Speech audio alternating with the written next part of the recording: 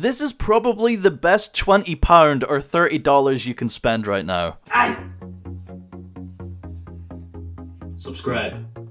It's the official release of the Traptrix structure deck, and this thing is just incredible. I would personally say it's even better than the branded structure deck overall, let me know if you agree down below, I know that's a bit controversial. Of course, we're going to start by quickly opening and skimming through the contents before showing you how to mash three together and play the deck. it's pretty self-explanatory when you're playing a lot of traps, but we'll see what we can show you. Either way, both budget players and Traptrix players are eating good today. And on that note, you could also be eating good because today's episode is sponsored by Factor. The way things are going right now, everything is so expensive. Her cat food's gone up in price like twice in the last month, man. It's crazy. You know what I told my vet the other day? It's like $10 for eggs in America. I don't even live in America. So, it's a perfect time for me to cut as a deal on some good eating. Factor is a meal prep service that delivers nutritious meals to your door so you have all the convenience of takeout without the guilt that comes with it. You're not even locked into ordering the same large double bacon cheeseburger meal with Fanta over and over again. There's a rotating weekly menu with a bunch of different options and goodies to choose from. And best of all, for those peasants who don't own a dishwasher like me, there's barely any cleanup involved after since it's all pre-prepared. So you're saving time and money. If you use my link or go to go.factor75.com and use code POGCARDSFEB50, you'll get 50% off your first box. And then once you sign up, my description will live update to count up the purchases. Definitely give it a go, see if you fancy it, and thanks again to Factor for sponsoring this episode.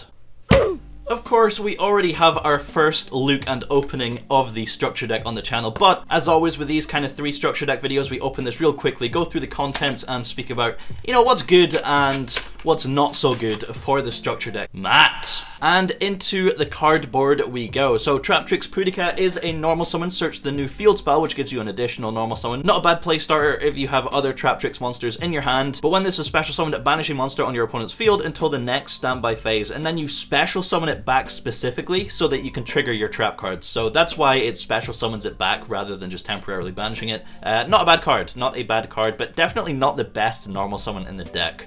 Uh, Traptrix Garden, like I said, this is a field spell. You don't really need three of these, probably uh, one or two to be fair. We have Trap Tantalizing Tune, the draw two. Pinguicula, this is like the beefiest Traptrix extra deck monster outside of the Link 3, which buffs everything. Uh, but the search is for a Traptrix monster. You can search for the uh, this thing, which is an extender, which is pretty cool. Now we have the Link 3, which is crazy good for OTKing your opponent. Uh, every Traptrix monster you control gains a thousand attack while you have a normal trap in the graveyard. So if you're able to control the game with your turn 1 board and then get all your Traptrix out on turn 2, you have game. we got the extender, Arachnocampa. This also has some built-in protection for your back row, which is really nice. Of course, super rare, evenly matched, incredible inclusion.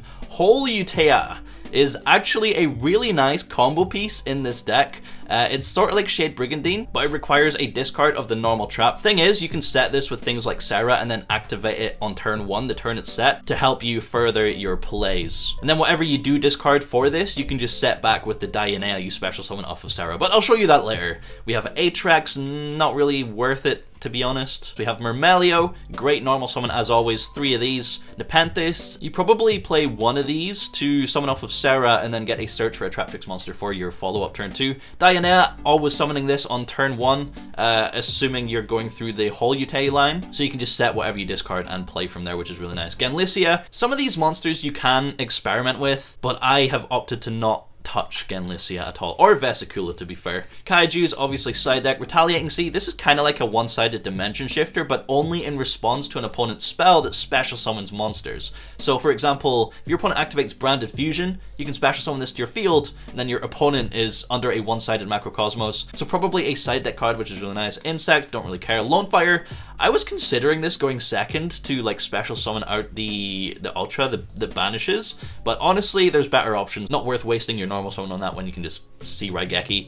Uh, Ash Blossom, incredible. Rose Lover, sure. Sage de you can experiment with this going second, but I don't think it's worth getting rid of your own monsters. We have the Mekk-Knights, love these. Uh, allows you to push for damage, but we're not going to be playing these in the deck. There's just there's just no point to it, to be fair. Moraltac, Fire Hand, and yeah, we don't play any of those. Raigeki, super nice. We want to main deck this. A lot of people will probably opt to main deck evenly instead, but going first, Raigeki is a lot more live than evenly is, and and 50% uh, of the time you're going to be going first anyway, so I think Raigeki's a better main deck inclusion than Evenly. Duster, I mean, it's such a good card, might as well main this as well. Then we have all of the Hole cards. This is a new one, you can banish an additional monster from the grave as well after, you know, trap holing your opponent. So that can come up. We'll definitely at least play one of those for those kind of decks that we come up against. Trap Hole, the original from LOE. Bottomless, we get two Bottomless, Void Trap Hole, Trap Hole Nightmare, Floodgate Trap Hole, Grave Diggers Trap Hole, Trap Trick, Shade Brigandine, also really nice in this deck, Sanctum, not really worth it without Scythe, and Sacred Tree. I mean, I get why it's in here, but we're not going to be playing that. Then all of the extra deck monsters. We have 15 spaces in the extra deck. We can play all of these. Uh, and then we have Mantis, which is also one of the best normal summons in the deck. For some reason, just at the back of the structure deck. I really don't know why they did that. So let's go mash three of these together, and I will show you what the deck list looks like because it plays so nicely. Uh, for three structure decks, it's so good, dude. It's so nice. Alright, getting into the deck list, here we go. There's some ratios that you can sort of tweak, but uh, otherwise I think it's pretty standard how you would build this. So starting off with the monsters, we of course have all our normal summons, triple Traptrix Myrmeleo, triple Traptrix Mantis. Myrmeleo searches a Hole normal trap, Mantis searches another Traptrix monster, and then we also have three Pudica as well to search for the field spell. I'm playing three of these and two of the field spells, so that gives us five sort of field spells in total, meaning the most optimal ratio for seeing at least one field spell in our opening hand. You don't want to go overboard with it because too many field spells doesn't really do anything for the deck. It's not like it searches on activation or anything. So you just sort of want to get to it on your first turn to play with, and then, you know, the rest you don't really need. So you can cut this down to two and the field spell down to one if you want to, but uh, I want to play five in total for our best chance of seeing at least one in our opening hand. So three, three, three, and then we're also playing three Traptrix Arachnocampa, this is the extender. Also the additional protection for the back row is really nice as well because like if you go into the Link 2 Traptrix Cularia, you can just special this back in the end phase to get that additional protection on your back row, which is really nice. Of course, Three Ash Blossom, incredible this format, dude. All the staples in this deck are really nice this format. Ash, very good, evenly, incredible in the side deck. It's so nice. And then rounding off the monsters, we also have one Traptrix Dionette. This is like a combo piece. You special this off of Sera, and then you can set any trap from your graveyard. And we also have Nepenthes to also summon off of Sera to get a search when you activate a trap. And uh, it gives you some follow-up for turn two or three technically. But those are all of the monsters in the deck. Of course, it is a trap deck, so you want to make some room for as many traps as you can. Getting into the spells, we have a triple trap tantalizing tune. This is good for consistency, you know, draw two is always good, discarding like an additional card that you don't really need. Just any normal trap, you can discard like a Shade Brigandine, draw into some starters. You don't need these, because awkward hands do exist where you don't really want to activate this. So you can swap these out for like more traps, I guess, but three trap tantalizing tune, three Raigeki over evenly, because 50% of the time, you know, coin flip, I guess dice roll as well, you will be going first. Raigeki's better going first than evenly is. So for turn 3 especially, you can just nuke your opponent's board and then OTK them with the Traptrix Link 3. Like I said, we have two Traptrix Garden the field spell and one Feather Duster in the main, because why not? You can always side this out, I suppose. Or you can even just side the Duster and play another trap. For the traps, we have triple Traptrix Holute, or Holutea. How do you say that? Please tell me how you say that. Uh, it's essentially an extender to Shade Brigandine. Like I said, with a 5 ratio, it's the optimal ratio for seeing at least one of those cards in your opening hand, so we do want to see one of these at least. But yeah, Holute is so good for the deck. Triggering Sera, summoning Dionaea, setting back what you discard, making a rank for it, it's so good. Rafflesia, you know. Double Trap Hole Nightmare, this is sort of like a Solemn Strike. Double Bottomless, you know, destroy a summon and banish it. Double Floodgate Trap Hole, permanently flip the monster's face down. Double Gravedigger's Trap Hole stops hand traps through things like Rafflesia and whatnot. Also just good against like graveyard decks and things like that. And then one of the new trap card, Terrifying Trap Hole Nightmare. I feel like this is a bit more situational uh, than the other ones, so it will come up occasionally. That's why we're playing one. You can just set it off sort of like Sera or whatever when you need it. But that does round up our 40 card main deck there. Getting into the extra deck, I don't think is anything too revolutionary here. Triple Sera, of course, triple Rafflesia, triple Cularia, and then double Allomerus. Allomerus summons from grave, double Pinguicula, search a Traptrix monster, and then double Atypus. Sort of like a Dark Ruler No More, also gives all your monsters plus 1000, incredible. So nice for the deck. And then side deck here, we have, of course, the triple evenly matched triple retaliating sea, because why not? It's a hand trap, one-sided macrocosmos against decks that do special using spells like Branded, for example. Kaiju's, obviously, uh, against towers, things like Dragoon, which is making a splash of this format. And then we have our third copy, each of what I believe to be the best traps in the deck. For going first, you side out Raigeki when you're siding for going first. And that is our 15 card side deck. So overall, pretty solid deck. I will show you some, I guess test hands or like a combo or whatnot. Alright, so the game plan. Go first and set up as many interruptions as possible. Uh, through things like Rafflesia, all your trap cards, Sera, and the first combo we're going to show you here is Trap Tricks Myrmeleo, plus any normal trap. It doesn't really matter which one it is, but you'll see why it matters here. So starting with the Myrmeleo, we're going to normal summon and search any Hole normal trap card from the deck. So we are going to search for a copy of the new Traptrix Holeutea super rare. From here, we are then going to link our Myrmeleo into Traptrix Sera, kind of off the camera there, off the screen there. Traptrix Sera, we're then going to set the trap that we searched, activate it by discarding a normal trap to the graveyard, special summons itself. On resolution, Sera will trigger because a normal trap card was activated. We're going to special summon a Traptrix monster from the deck. We're going to special summon Dionaea, of course. On resolution, Dionaea will activate because she was special summoned. We're going to set back a normal trap from our graveyard, Gravedigger's Trap Hole, or, you know, just the normal trap that we did send to the grave for Holeutea. If you don't activate this by the end of your next end phase, it does get banished, but, you know, most likely you're going to activate it. Otherwise, why are you playing the card?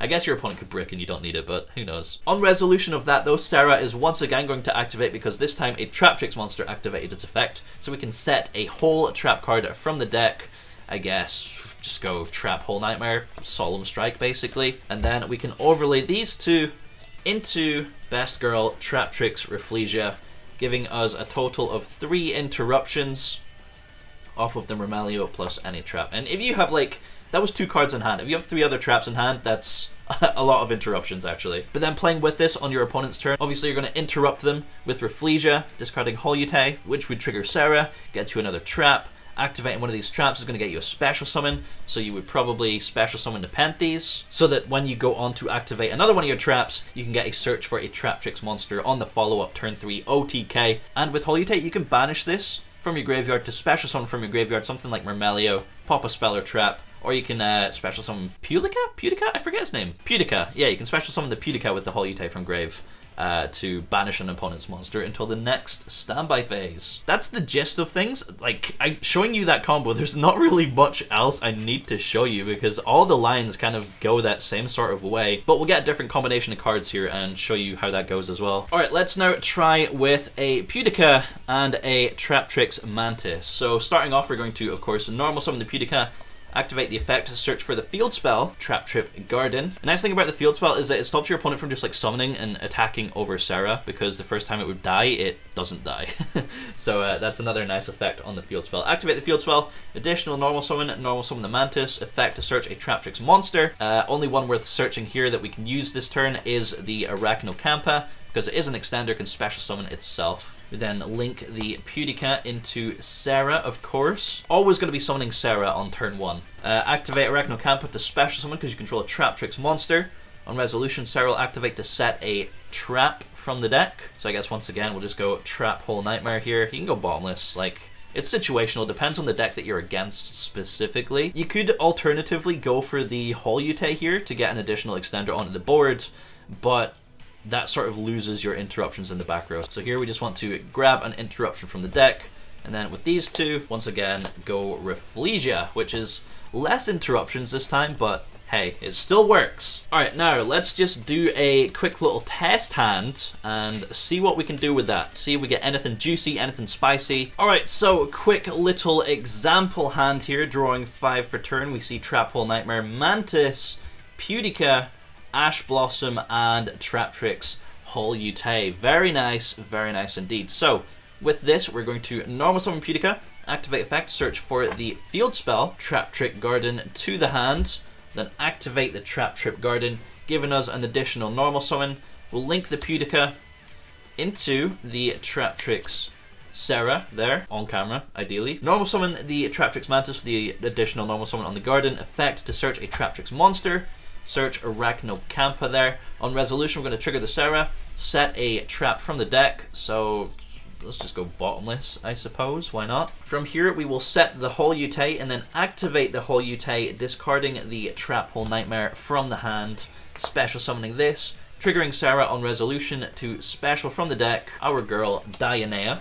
Dionaea is going to set back the Trap Hole Nightmare here. We're then going to overlay the Mantis and the Dionaea for Traptrix Rafflesia, an additional interruption, or technically two interruptions if she does survive. Then we can special summon the Arachnocampa, link the Holeutea and Arachnocampa into Traptrix Cularia, the link 2, which is going to reset your traps after you use them, giving you double usage out of your traps. Then in the end phase, Cularia is going to summon back the Arachnocampa. So with this hand, we have four interruptions, Rafflesia, two traps, and Ash Blossom, but we gain so much advantage. The back row has protection with Arachnocampa, our monsters have protection with Traptrix Garden, our traps get reset, and we're going to be triggering Sera for days off the Rafflesia and the traps. So the deck plays really, really nicely for three structure decks, and can very easily compete at a local level for sure. I mean, you just need to add things like Parallel Exceed, you know, a few rank 4s, maybe like Utopia Double, and you're golden. This deck is so cool. It's absolutely worth buying, especially if you're just getting back into the game, because traps sort of aren't that difficult to play, at least at a casual level. But yeah, three Traptrix structure decks. If you have any questions or recommendations for improving the deck, blah, blah, blah, let us know in the comments. Otherwise, Hope you enjoy picking up the three structure decks and playing with them. You can't go wrong. Another structure deck down, and uh, they just keep getting better. Konami, doing a great job on the structure decks. So thanks for watching, and if it is just the structure deck videos you watch on this channel, I'll see you in three months.